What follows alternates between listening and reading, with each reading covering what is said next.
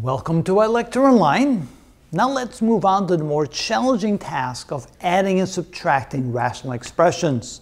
And yes, the very same rules that we've learned in adding and subtracting fractions when we're just dealing with numbers apply here when we're dealing with polynomials, polynomials instead.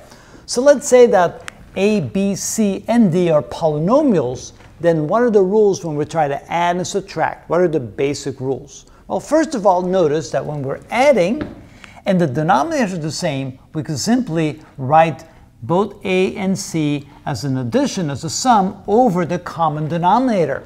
And the same thing applies when we're subtracting. When the denominators are the same, it is fairly easy. We can simply write the difference of the two polynomials over the same common denominator. So that makes it pretty easy. So the first thing we do is we make sure if the denominators are the same, it's a piece of cake. But what if the denominators are not the same? For example, here the denominator is b, and there the denominator is d. They're not the same.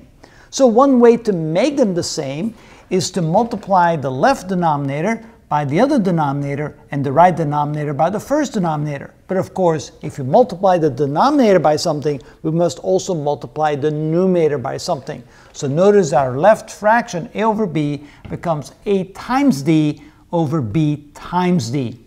We do the same for the second one, but now we're going to multiply the numerator and the denominator by the denominator of the first fraction. And so here we have c times b divided by d times b. Now notice both denominators are not the same. b times d is the same as d times b, which is bd.